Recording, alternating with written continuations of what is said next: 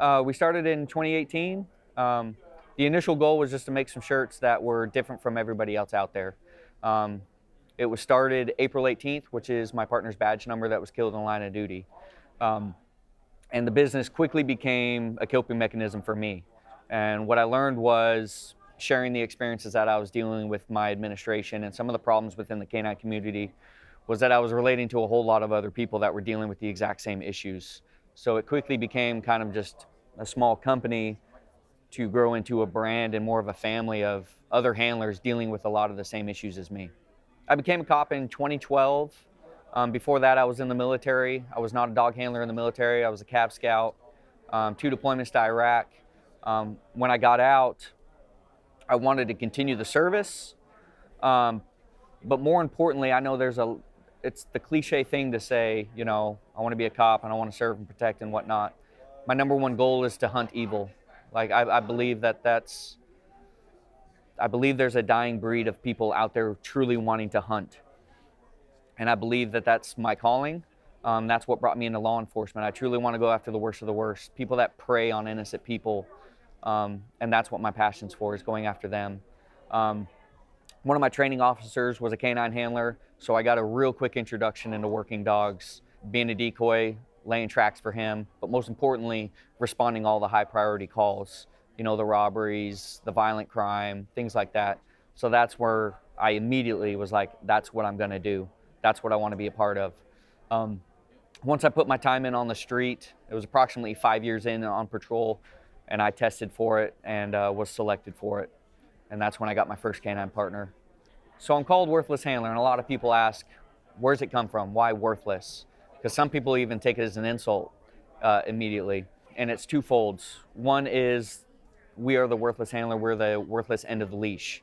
I was always I was told quickly on that if our dogs had thumbs, they'd drive and they wouldn't need us. They'd go to their own calls.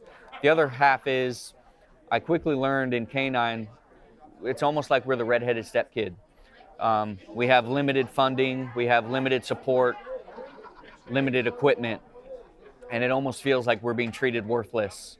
So it's kind of um, we're going to take that persona of you being of us being called worthless and we're just going to use it to our advantage and take pride in it. And then the other half was we're the worthless side of the leash. You know we're just tagging along hanging on letting our dogs work how do you come up with your idea especially like you know like the train or die or like don't pet on me and like those kind of things yeah um, most of the ideas just come from the dark pits of my brain like i just think of something funny or i see something that i already love you know join or die um, the "Don't Tread on Me" because obviously I'm I'm a red-blooded American. So I look at those things and I see of how I can incorporate them into um, the brand.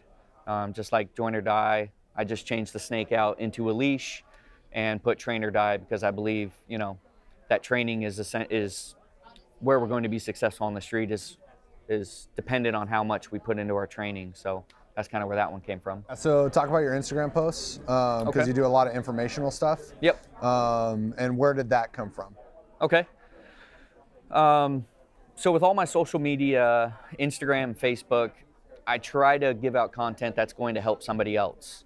So whether it's Medical Mondays with Den Mother or Evan Nolt, or Saturday setups where I talk about equipment, which features a lot of Ray Allen um, as well as you know training days, uh, working dog Wednesdays, things like that.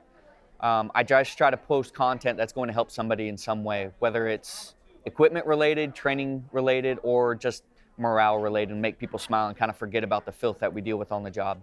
Um, I don't care if I don't sell another product for the rest of my days. Um, meeting people, hearing their stories, whether it's seizures, apprehensions, or just that like a post just they saw a post and they're like, dude, I just went through that at my agency. I completely understand. Thank you for doing that.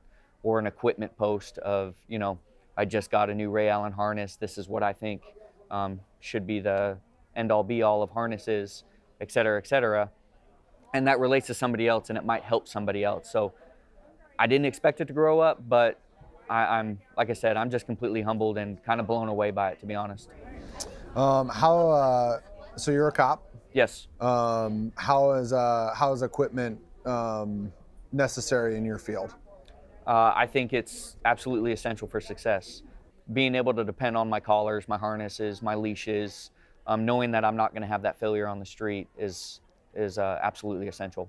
I've recently got a new canine partner. His name is Canine Bolo. He was generously donated by Canines of Valor, um, and he came from Pacesetter Canine in Texas. He's an amazing partner. Um, while I can't go into detail, he's already saved my life on the street. Awesome. Um, what equipment do you use with him? With Canine Bolo, I run uh, an Icon harness. I run his the Ram collar, all of my leashes, my long lines, my waist lead, my six footer, uh, literally everything is Ray Allen. You can find me at worthlesshandler.com. You can find me on Facebook, just Worthless Handler, and then Instagram, Worthless Handler.